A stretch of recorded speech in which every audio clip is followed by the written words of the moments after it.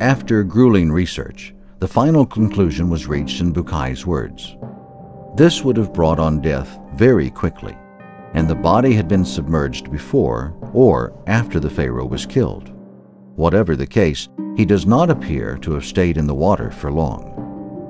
I have searched for a contradiction of any kind between our medical observations and the narrations of the Exodus contained in the book of Exodus in the Bible and the Quran. But I can find no argument to oppose the theory I hereby maintain.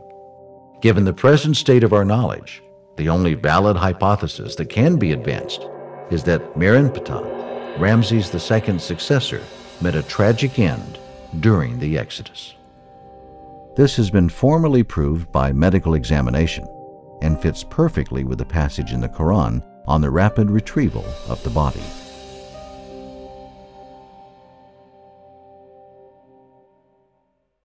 Rather today, we shall deliver you preserving you in your body only, so that you will become a sign for those who come after you, that God is exalted in his power, for indeed many of the people are heedless of our signs.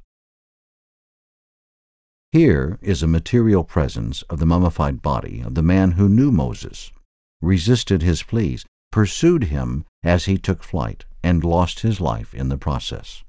His earthly remains were saved by the will of God from destruction to become a sign to posterity, as it is written in the Quran.